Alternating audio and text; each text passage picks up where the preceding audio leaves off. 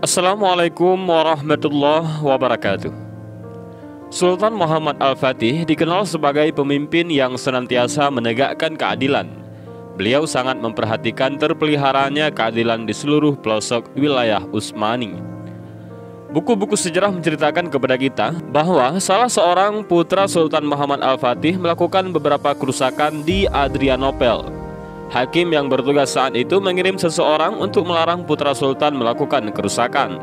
Namun putra sultan tidak mau berhenti. Maka hakim tadi segera berangkat sendiri untuk mencegah perbuatan itu. Ternyata putra sultan itu malah memukul hakim dengan pukulan yang sangat keras.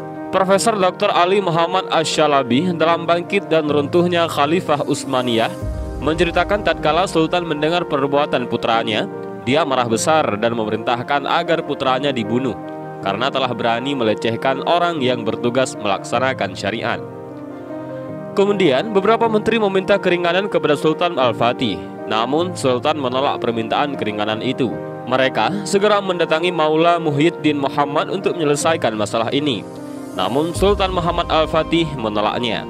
Maka berkatalah Maula Muhyiddin, Sesungguhnya hakim ini dalam kedudukan sebagai hakim saat itu dia menghukum dalam keadaan marah, maka dia tidak berhak duduk sebagai hakim. Maka tatkala dipukul oleh seseorang, tidak berarti orang itu telah melecehkan syariah hingga dia berhak untuk dibunuh. Di sisi lain, dalam hukum Islam juga tidak dibenarkan seseorang memukul hakim, lalu dia diberi sanksi hukuman mati. Hal ini tidak dibenarkan. Sanksi yang benar adalah kisos, hukuman balasan. Siapa yang memukul harus dipukul yang setimpal.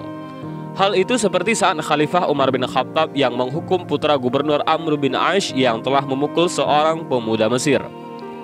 Mendengar penjelasan itu, Sultan Muhammad Al-Fatih hanya diam saja.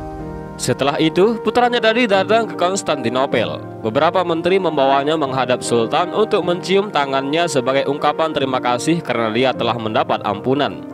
Saat itulah Sultan mengambil satu tongkat besar dan dia pukulkan pada anak tadi dengan pukulan yang sangat keras sehingga membuat putranya itu jatuh sakit selama empat bulan.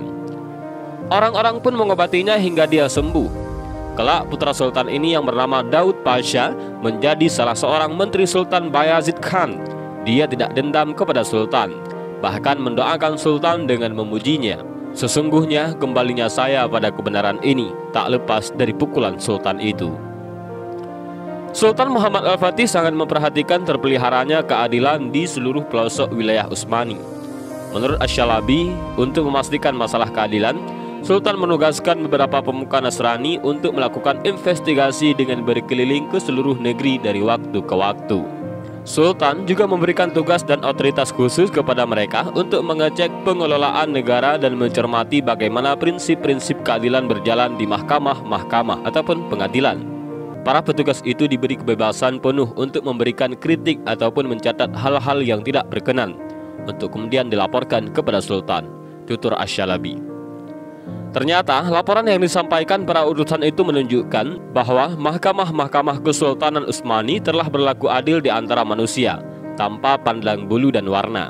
Maka saat Sultan sedang keluar untuk melakukan peperangan, dia berhenti di sebuah wilayah dengan cara mendirikan tenda dan secara terbuka mempersilahkan rakyatnya melaporkan masalah-masalah yang dihadapi, termasuk masalah-masalah kejahatan yang dialami. Sultan sangat menyadari bahwa ahli fikih dan syariat merupakan orang-orang paling mengerti tentang keadilan, paling jeli melihat di mana keadilan itu berada, sekaligus paling berkepentingan untuk menerapkannya. Beliau memandang bahwa ulama dalam sebuah negara laksana hati dalam badan, jika mereka baik, maka baiklah negara. Sultan juga sangat memperhatikan ilmu pengetahuan dan orang-orang yang berilmu. Itulah sebabnya Sultan mempermudah semua sarana menuntut ilmu. Mereka diberi fasilitas yang memungkinkan bisa belajar secara maksimal. Sultan memberi perhatian khusus kepada para hakim yang memutuskan perkara. Tidak hanya mencukupkan perekrutan hakim dari orang-orang yang paham fikih, syariah, memiliki reputasi bersih dan istiqamah, tetapi juga dia haruslah dikenal dan dihormati di tengah-tengah masyarakat. Demikian pula pemerintah harus menanggung semua kebudahan menterinya, sehingga bisa menutup praktik-praktik penipuan dan sogo. Maka Sultan memberikan gaji yang cukup bagi mereka dan membuat posisi mereka mulia dan independen. Hakim yang mendapat suap maka tidak ada balasan baginya dari sultan kecuali hukuman mati.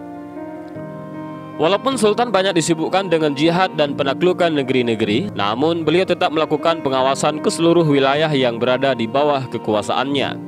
Ini semua bisa dilakukan berkat karunia Allah yang berupa kecerdasan cemerlang, serta pandangan yang demikian tajam, ingatan yang kuat, serta fisik yang prima.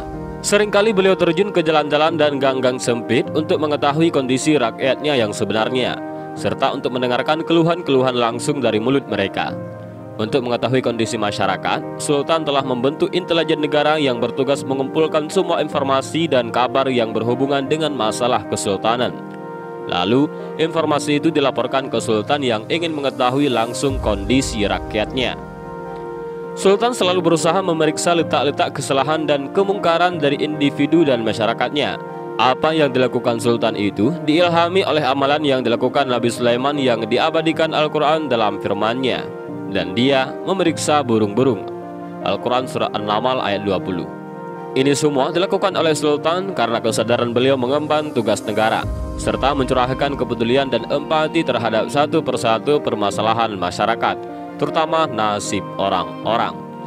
Dan inilah sedikit kisah tentang Sultan Muhammad Al-Fatih. Walaupun putranya bersalah, Sultan Muhammad Al-Fatih tak pandang bulu, beliau tetap menghukumi anaknya. Dan mudah-mudahan dari kisah singkat ini kita bisa lebih mengenal siapa Muhammad Al-Fatih. Mudah-mudahan bermanfaat bagi kita semua. Amin ya rabbal alamin. Wallahu a'lam Assalamualaikum warahmatullahi wabarakatuh.